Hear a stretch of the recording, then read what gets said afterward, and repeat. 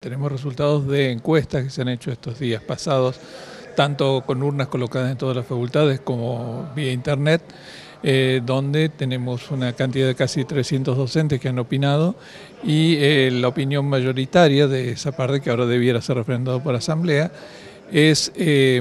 paros progresivos y escalonados, más la realización de clases públicas e intervenciones en la vía pública. Esas serían este, las opciones más, más votadas. ¿Qué otros resultados arrojaron estas encuestas realizadas a docentes? Había, había varias opciones, este, están estas que mencionaba, había una de, por ejemplo, de no toma de exámenes, a la que menos adhesión tuvo, eh, y además la gente proponía distintas, eh, distintas cuestiones, distintas formas de trabajo. Eh, proponía, por ejemplo, que se hagan actividades conjuntamente con este, los centros de estudiantes, actividades que ahí ya se están haciendo, tales como recorridos por aulas y por este, espacios de trabajo, tales como cubículos, ir explicando cuáles son las dificultades